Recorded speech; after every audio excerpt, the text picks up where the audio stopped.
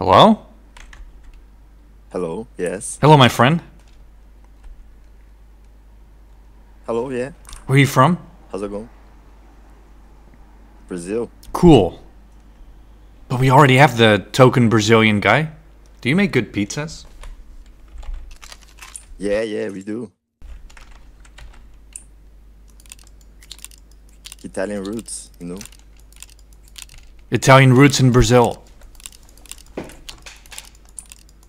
Yeah, immigrants.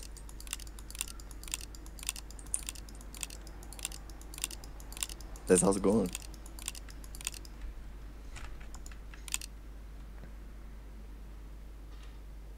What part of Brazil you're from? I'm from Minas Gerais.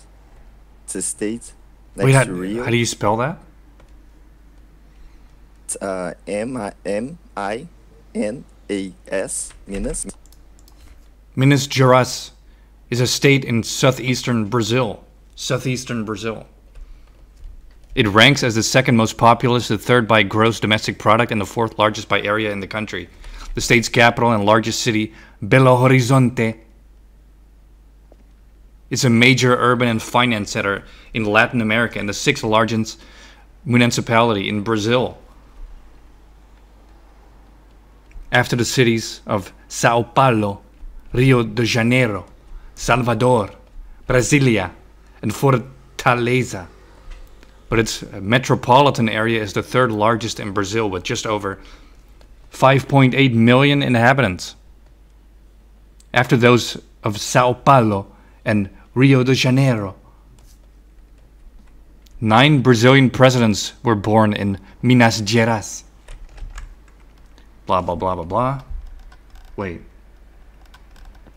Let's talk about crime. There's probably a lot of crime there. Crime and violence in Brazilian history. A century long trend in Minas Gerais state. This article analyzes the method- methodological problems inherent in reconstructing criminal st- statistics over time and presents findings in relation to crime trends in Minas Gerais between 1830 and 1929.